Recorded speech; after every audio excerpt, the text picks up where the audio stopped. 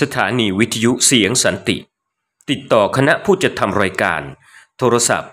0819153786 เสนอบทความพิเศษโดย อาจารย์อามีน มูซาอันนดวีบิสมิลลาฮิรราะห์มานิรราะฮีมฮัมดุลิลลาฮิรับบิลอาลามินวะบิฮินัสตัยนวะลาฮุลาวะลากูติลาบิลลาฮินัลกินอซีชิรัลลาอิลาฮิลลอฮ์วะดะฮุลาชารีกะละวะชฮดุอันนะมุฮัมมัดอัลอับดุฮูวะรอซูลุฮ์ الذي أرسله بالهدى ودين الحق ليظهره على الدين كله ولو كره المشركون أما بعد السلام عليكم ورحمة الله وبركاته ขอความสันติความจำเริญจากอัลลอฮฺสุบฮานวะตะอาลาเอ่อประสบกับพี่น้องผู้ศรัทธา ผู้ที่เอ่อศึกษาความรู้ความเข้าใจจากอัลลอฮฺสุบฮานทุกๆท่านนะครับ พี่น้องผู้ศรัทธาทั้งหลายครับเราคุยกันเรื่องราวดีๆ เป็นเรื่องราวของตัวเราเองนะไม่ได้ไปคุยเรื่องอะไรไกลตัว แต่ว่าเป็นเรื่องที่เราอยากจะบอกอความเป็นจริงของอัลลอฮฺสุบฮาตาลพระผู้เป็นเจ้านะครับที่เราสามารถอธิบายแล้วก็บอกทุกคนได้นะครับว่าพระผู้เป็นเจ้าของเราจะเป็นแบบไหนอย่างไรนะโดยเฉพาะอย่างยิ่งเนี่ยทรงรู้ทรงเห็นทรงได้ยินทรงมีอำนาจ ถ้าทุกคนเนี่ยนะครับมุสลิมเราเองเนี่ยนะ ได้พยายามศึกษาเรื่องเหล่านี้เนะครับสามสี่ประเด็นเนี่ยเนะเราก็จะไม่กระทำความผิด มันจะหยุดยั้งความชั่วร้ายได้ เพราะเรารู้ว่าอัลลอฮ์ทรงเห็นทรงได้ยิน การเห็นของอัลลอฮ์เนี่ยนะครับกว้างใหญ่ไพศาลนะครับ เห็นแม้กระทั่งสิ่งเล่นลับสิ่งอยู่ตรงไหน แอบตรงไหนก็เห็นหมด รวมถึงการได้ยินของพระองค์เหมือนกันนะครับ เราจะพูดยังไงแอบอยู่ข้างในแม้กระทั่งในจิตใจของมนุษย์ที่คิดอยู่ พระองค์ก็ทรงได้ยินอีกเหมือนกัน อันนี้คือพระผู้เป็นเจ้าที่อยากจะบอกว่า เป็นพระผู้เจ้าจริงๆนะเป็นพระเจ้าจริง ๆเลยนะครับเบ็ดเสร็จนะพระองค์อัลลอฮฺสุบฮาตานั้นเพียงพระองค์เดียวที่เราบอกว่าละตุชิรุกบีใช่ยอย่าตั้งภาคีใด ๆ กับพระองค์การตั้งภาคีหมายถึงการที่เรานำสิ่งอื่นมา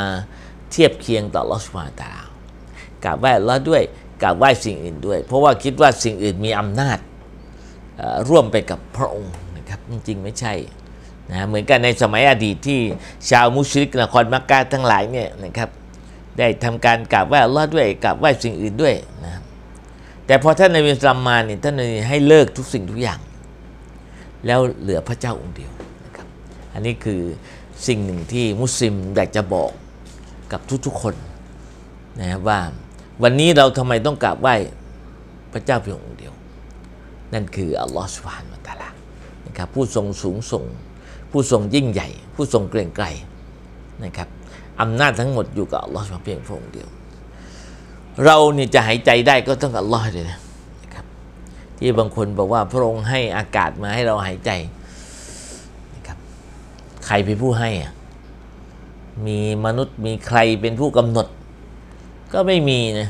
ตามหาเท่าไหร่ก็ไม่เจอสุดท้ายเราต้องบอกว่าเนี่ยแหละคืออัลลอฮ์สุบฮานพระผู้เป็นเจ้า ที่ให้ชีวิตมนุษย์ในการดำรงชีพอยู่ทุกวันนี้ครับดำรงชีพอยู่ทุกวันนี้แล้วก็ให้ปัจจัยต่างๆ มากมาย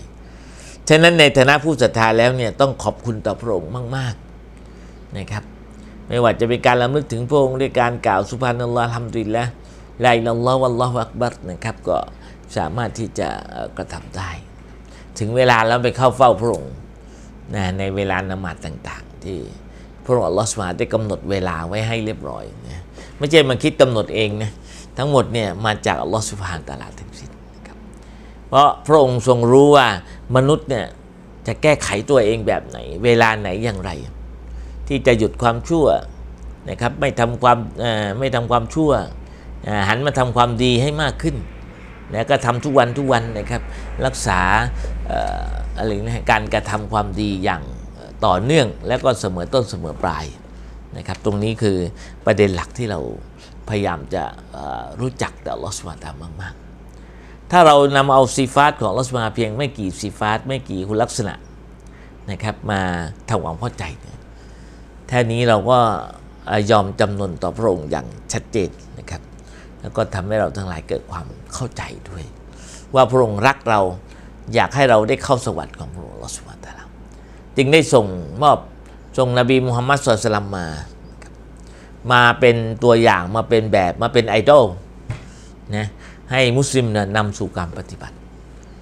และการปฏิบัติในอิสลามเนี่ยนะครับไม่ได้หยุดอยู่แค่เพียงในยุคนั้นเท่านั้น แต่สามารถปฏิบัติต่อเนื่องยันไปถึงวันกิยามะที่เราจะต้องกลับไป หรือว่าตั้งแต่เกิดจนตายเลยก็ว่าได้ ก็จะมีแนวทาง เพราะว่าการที่เราทำตามนบีมูฮัมมัดสุลตัลมเนี่ยนะครับมันจะทำให้อัลลอฮ์รัก เพราะอัลลอฮ์รักนบี ถ้าเราทำตามนบีแบบนบีอัลลอฮ์ก็จะรักเราด้วยเหมือนกัน มันเป็นมันเป็นสัจธรรมอยู่แล้วนะครับถ้าอยากให้อัลลอฮ์รัก เราก็ต้องทำตามที่นบีมุฮัมมัดสุลตัลมเนี่ยได้กระทำนั้นนบีก็จะแสดงแบบ และพระองค์ก็มอบกุรอานเนี่ยนะครับมาให้กับท่านนบีมุฮัมมัดสุลตัลลัม เราเรียกว่ากุรอานนี่แปลว่าการอ่าน เพราะฉะนั้นไม่ใช่เอามาทำเป็นอาซิมัตห้อยคอ ห้อยแขน หรือเป็นอะไรอะคัมภีเล็กๆเอามาใส่ไว้ เพื่อป้องกันผีพูดผีปีศาจทั้งหลายไม่ใช่ กุรอานที่อัลลอฮฺมาให้มาเนี่ยมันเป็นคำพูดของพระองค์ที่จะมีผลทางจิตใจต่อมนุษย์ที่อ่าน มีผลทางด้านการปฏิบัติของผู้อ่านที่นำไปสู่การปฏิบัตินะครับหลายๆเรื่องนะฉะนั้นการที่มอบกุรอานมาให้เนี่ยนะครับพระองค์ให้มาอย่างที่เรามุสลิมเราก็จะเข้าใจอยู่แล้วว่า จะมาในค่ำคืนไลลาตุนกัดเดือนรอมฎอนนะครับ มาที่ฟากฟ้าของโลกดุนยานี้นะครับแล้วหลังจากนั้นเนี่ยก็จะทยอยลงมาให้กับท่านนบีมุฮัมมัดสัมตามเหตุการณ์ตามวาระต่างๆ